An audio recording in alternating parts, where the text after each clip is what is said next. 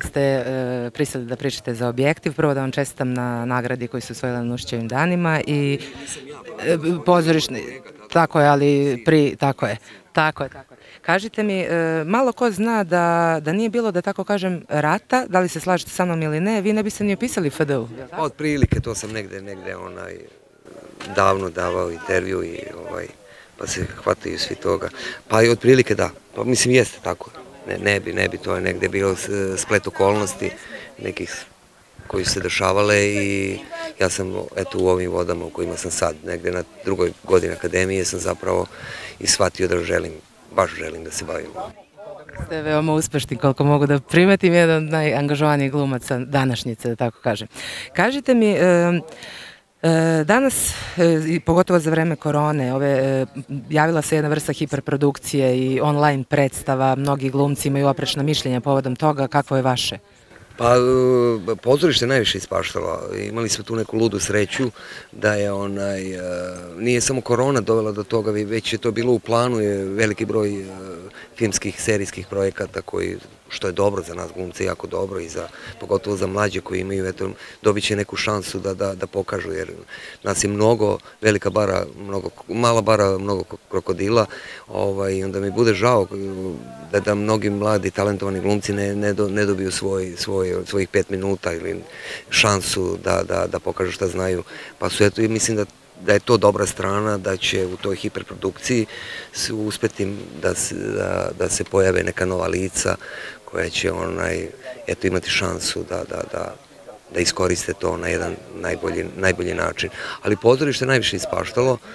Eto, mi smo imali sreću u BDP-u, pošto smo, onaj, kako je, ovaj, ajde malo kažem, korona stala, mi smo to nekako držali, držali sve, počeli smo mnogo i uspeli smo nekako da završimo sad u ovom nekom delu sezone ovaj, sve što je bio plan za tu sezonu koja je, kad se desila korona. Ovaj, tako da smo u jednom momentu u BDP-u u maju imali pet premijera. Da, ovaj, tako da ovaj, ajde uspevamo nekako na, na te načine, dovijavamo se na razne načine da, da ipak ta sezona ne kažemo da je propala.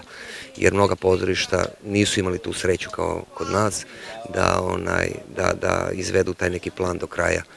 Ovaj, I onda mnogo, mnogo glumaca koji su recimo vezani za pozorište, a nisu stalni članovi, su živjeli od tog pozorišta i oni su bili najviše pogođeni tom, egzistencija njihova bila pogođena tim. Nadam se da, će, da je to vreme iza nas i da će sad biti bolje.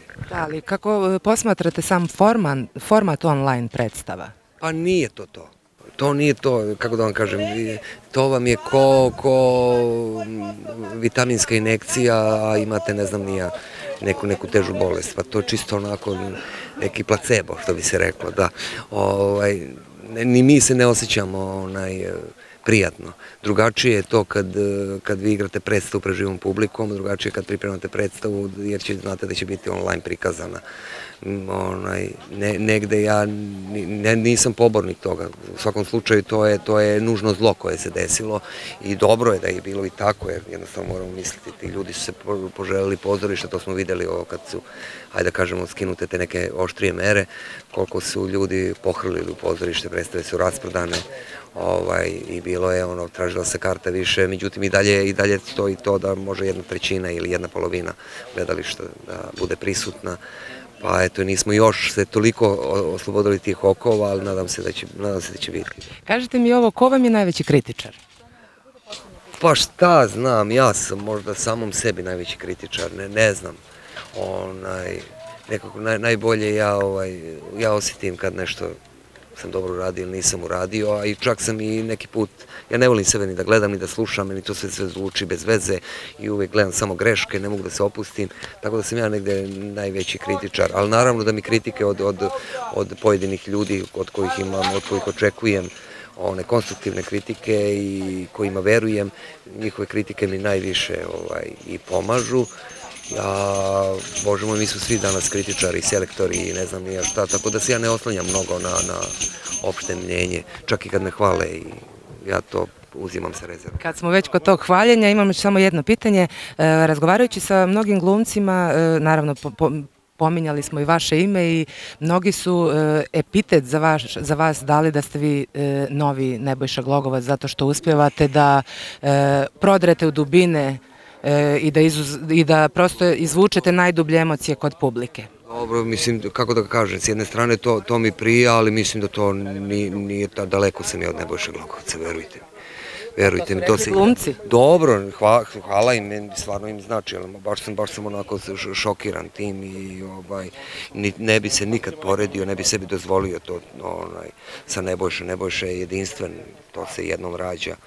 On je ono, posle Pavla Vujsića, posle Slobodana Cice Perovića, Ovaj, eto, ako već mene hvale, onda dajte mi priliku da ja pohvalim jednog mladog glumca, mislim mladog vajmu, srednja generacija, Filip Đurić.